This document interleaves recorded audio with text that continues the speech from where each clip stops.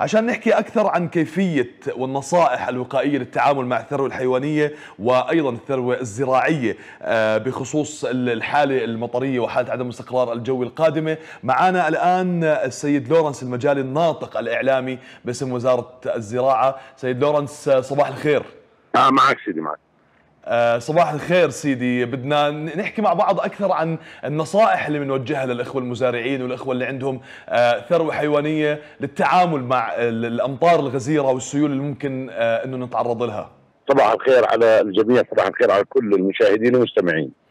يعني هذا هذا المنبر الإعلامي. حقيقة أيام الخير اللي نعم. تعمنا إن شاء الله والأمطار القادمة. إحنا لدينا مجموعة يعني من الرسائل لإخواننا المزارعين. نعم. في المملكة خاصة مناطق الإنتاج والثروة الحيوانية. إحنا بنأكد في ظل الظروف الجوية للحفاظ على سلامتهم وسلامة منتجاتهم. اولا ودائما الابتعاد عن مجاري السيول والوديان خاصة لمربين الثروة الحيوانية مربي الدواجن والأغنام والأبقار تنظيف ساحات الحظائر الخارجية آه، آه، مناطق التفريق داخل الحظائر أيضا يعني لتلافي التهاب الضرع والظلف لدى الحيوانات آه، حماية المواليد من البرد وخاصة الفترة هاي من التيارات الهوائية نظرا لحالة عدم الاستقرار الجوي ممكن تشهد رياح نعم. قد تكون يعني لها أثر سلبي على المواليد صلاحية الحظائر تشرب المياه من الأسقف هاي أهمية كبيرة لدى إخواننا مربين الثروة الحيوانية أيضا إحاطة جدران الحظائر يعني أقل ما فيها يعني نشوف مناطق دخول وخروج الهواء. داخل الحظائر هاي اهتمام بها يعني اهتمام ب ب في ما يخص الأغنام.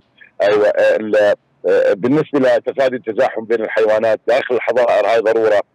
التغير المفاجئ في العليقة العلفية عدم التغيير في العليقة العلفية خلال خاصة في فترات الليل. مع انخفاض آه، درجات آه، الحرارة. آه، أيضا يعني اللي بتشهد ولادات الآن التركيز على التدفئة للولادات ولادات الأغنام وأيضا صوص بالنسبة للدواجن.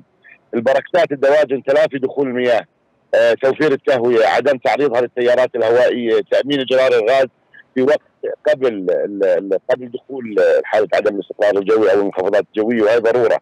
التأكد من صلاحية المباني الخاصة بالدواجن أه. الحفاظ على درجة الحرارة ما بين 14 ل 18 درجة مئوية.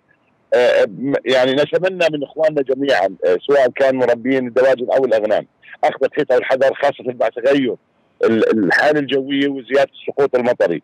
مربين النحل أيضا يعني إبعاد خلاياهم عن مجاري السيول. يعني هذه ما زالت المعلومة موجودة من من منذ منذ بداية الموسم. نوجه إخواننا الابتعاد عن السيول ومجاري الوديان بالذات. أيضا عدم كشف الخلايا خلايا النحل عدم كشفها آه، خلال فترة وجود رياح.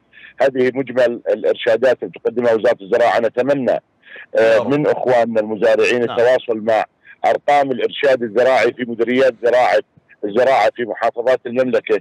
آه، حول أي سؤال حول أي استفسار حول آه، حول الإرشادات متابعة آه، صفحات وزارة الزراعة وصفحات الإرشاد الزراعي الوقوف على أي موضوع بخص الارشادات الزراعية فيما يخص فترات تغير الطقس. نعم سيدي بدنا نشكر وجودك أستاذ لورنس على الهواء مباشرة معنا عبر موقع طقس العرب وبرنامج جوك وإن شاء الله هاي النصائح تكون وصلت للإخوة المزارعين ونتمنى أيضا وبناكد على حكيك إنهم يأخذوا الحيطة والحذر.